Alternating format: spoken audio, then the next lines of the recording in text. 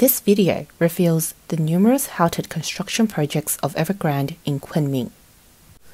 Countless unfinished properties resemble ghost towns, which is truly chilling. The videographer asked, Are any of these unfinished Evergrande developments in Kunming ones that you bought? 1. Evergrande Kunming Lake Project, located in Anning Taiping New City, launched in April 2018. The main structure is essentially completed now, but the necessary community compound infrastructure is not yet complete, hence, it is not ready for occupancy. Many homeowners, fearing the project would be abandoned, are willing to accept unfinished properties. 2. Evergrande Expatriates City Yangzonghai. The residential buildings are half finished, with no progress despite rumors of resumption. 3. Evergrande International Health City. While a portion of the main structure is completed, it's not ready for occupancy. Currently, the doors to the property are firmly closed with no signs of resumption. 4. Evergrande Cultural Tourism City, not ready for occupancy. Construction has been halted for two years. 5. Evergrande Sunshine Peninsula began development in 2019. Primarily composed of foreign style apartment high rise residences, a large number of high rise buildings and villas are still unfinished. 6. Evergrande City Project, located in the International Members Center area, started in 2020. The first phase is completed and handed over. The main structure of the second phase is completed, but the facilities are not yet ready, making it not ready for occupancy. The project has now been transferred to other developers and is expected to resume. Evergrande's real estate projects are sold as off plan pre sales, so the halt in construction greatly affects the homeowners who bought these properties.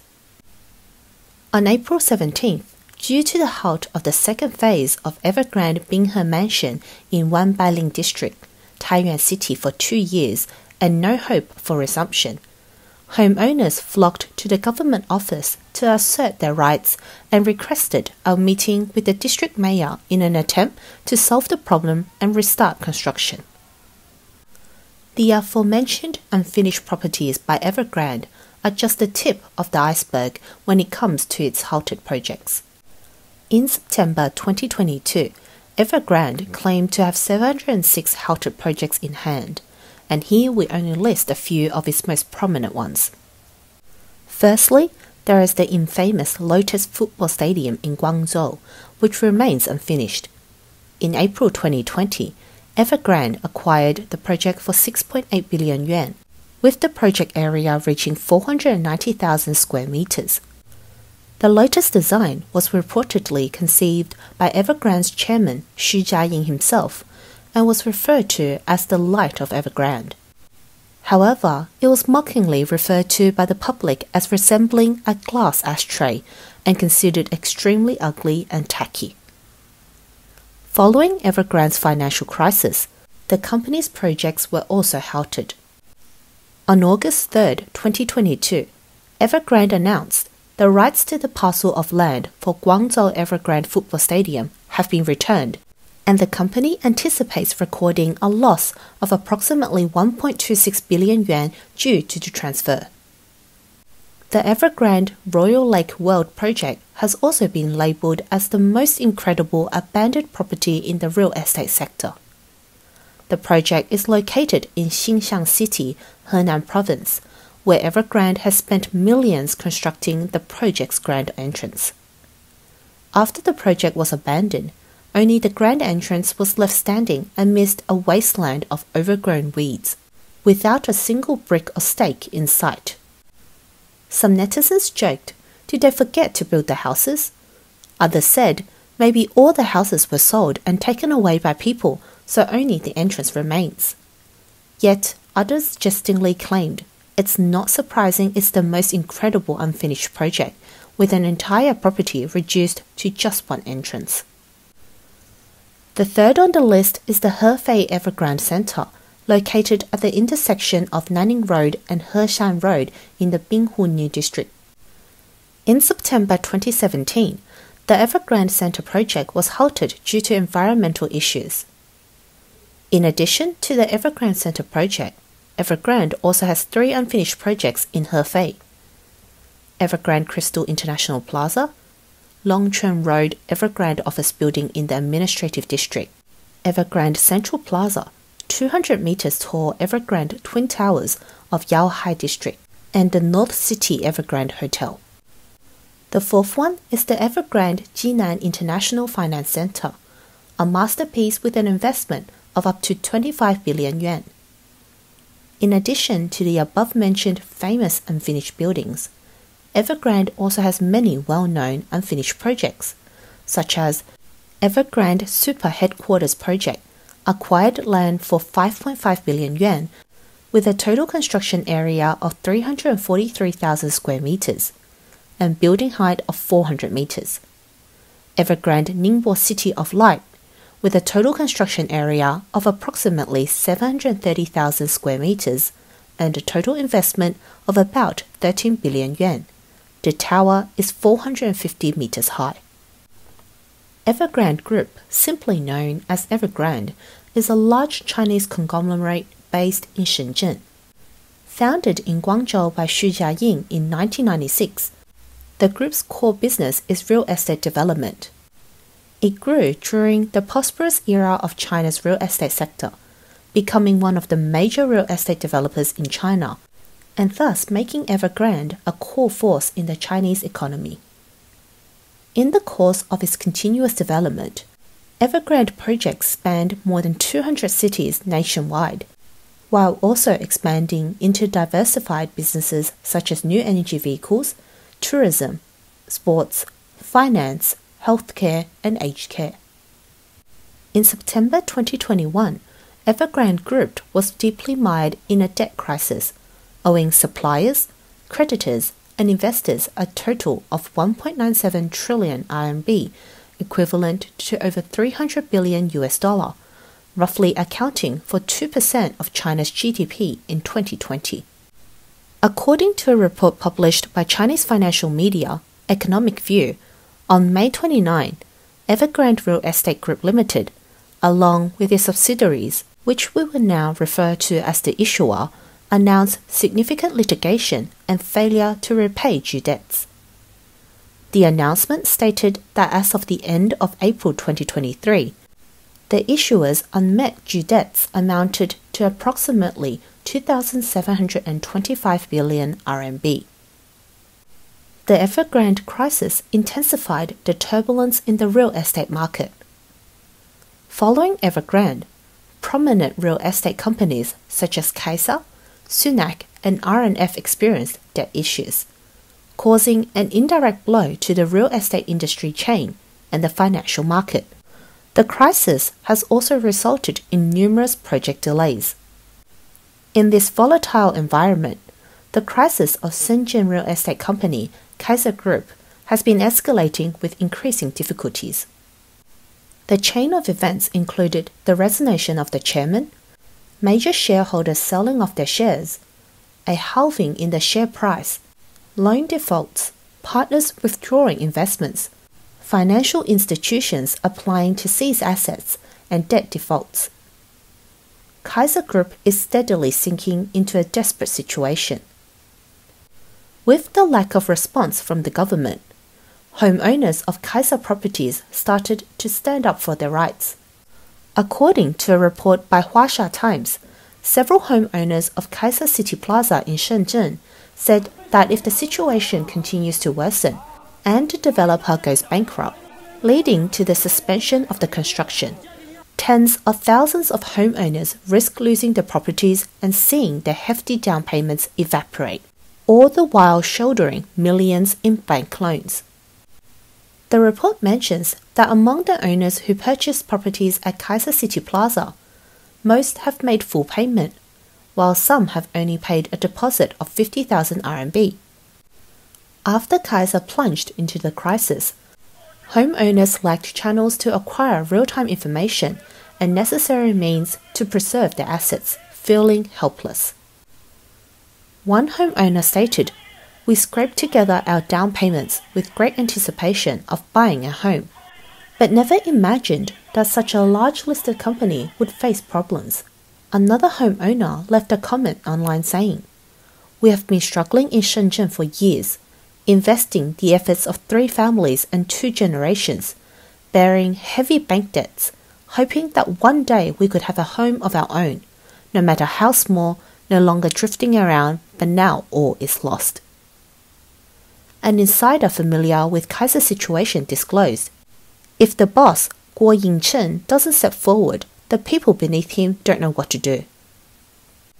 Currently, all projects of Kaisa Group cannot be transferred and debts cannot be repaid. Kaisa can only reduce company expenses through layoffs and salary cuts, with no other viable solutions in sight. Insiders of Kaisa have said to Chinese media that they are currently powerless. According to the underground reporting by Epoch Times, on June 30, homeowners from different phases of Kaisa City Plaza in Qingyuan City of Guangdong Province staged a rights defense protest in front of the Qingyuan government and at the Kaisa Sales Center due to the developer's failure to deliver properties on time and the stripping fully finished apartments to shell apartments. Their protest was met with violent suppression from the police, resulting in some homeowners being forcefully removed from the scene and detained. Homeowners on site said that at 11 a.m. on June 30, some of the affected homeowners from Qingyuan Kaisa City Plaza went to the Qingyuan city government to defend their rights. They were driven away as soon as they reached the entrance and ended up by the roadside. Around noon, the police began forcefully clearing the area, with several officers tackling each homeowner, pulling them onto two buses parked at the roadside. During the removal, some homeowners knelt down crying. Some were violently beaten by the police, and others were dragged away by several officers.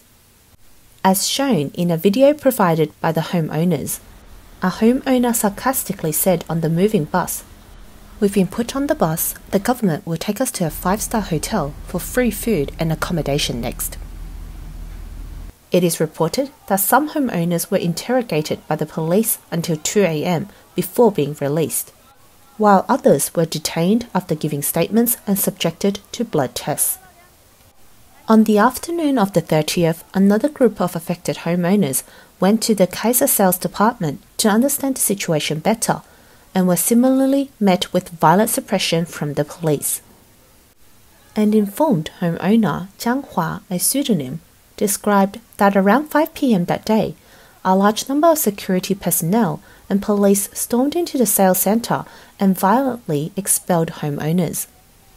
Some homeowners were handcuffed and taken away, while others were forcefully carried away by four policemen, with one homeowner shouting loudly, Can I walk by myself? Zhang Hua described the scene as miserable lamentable, and added that some homeowners have still not been released. He further revealed that the date was the delivery date promised in previous official negotiations between the relevant government department, developer, and homeowners. March 10 this year was the original delivery date for buildings 10, 11, 13, 14, 15 by Kaisa. The Qingyuan Housing and Urban Rural Development Bureau held a meeting with Kaisa and homeowners on March 15, promising to deliver the shell apartments by June 30. When homeowners asked about the condition of the supervised account funds during that meeting, the Qingyuan Housing and Urban Rural Development Bureau cited commercial secrets as the reason for not disclosing the usage of the trust account funds and did not penalize Kaisa. Originally, August 25 of the previous year was the contractually agreed delivery date for buildings 4, 5, 6, 8, 9 of Kaisa. However, on August 10, homeowners received a notice from Qingyuan Derun Real Estate Company Limited, stating that the delivery would be delayed due to the impact of the pandemic. Zhang Hua stated that to this day, the properties have not been delivered despite numerous delays. Even though the developers' contracts with the owners explicitly state that they will be delivered as finished units, and Kaisa's advertisements also promise delivery of finished units, the Housing and Urban Rural Development Bureau refused to deliver finished units on the grounds that the developer's record is for unfinished units. In fact, the previously delivered buildings 7 and 12 by Kaisa were finished units. However, when it came to delivering buildings 4, 5, 6, 8, and 9, they refused to deliver them as finished units on the grounds of lack of proper documentation. Zhang emphasized our demands an immediate completion of inspections, delivery of finished units, and compensation for breach of contract. We have appealed to governments in Qingyuan City and Guangdong Province, but they keep passing the buck and avoiding the issue. The officials are unsightly in their behavior, colluding with the developers and merely sending police for violent enforcement. Property owners have no recourse but to leak information overseas in hope of assistance. The countless unfinished projects by real estate companies like Evergrande and Kaisa not only undermine the trust of ordinary people, but also that of banks in developers' ability to resolve the problem of unfinished buildings.